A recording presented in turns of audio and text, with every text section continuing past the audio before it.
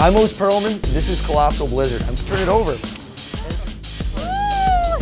So intriguing. You have a deck of cards.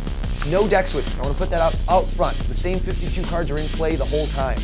You have somebody think of a card. They're choosing one. There is no force. They choose a card out of the deck.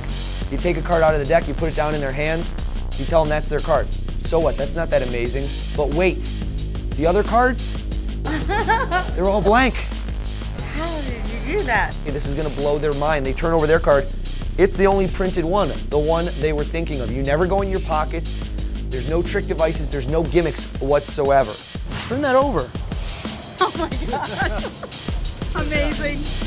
All except for one. All except for something you're holding. Turn that one over. Take a look. Damn, that's a trip. Gosh, that's a mess. Is she good? I'm Oz Pearlman. This is Colossal Blizzard. Turn it over. That's the only card in the deck.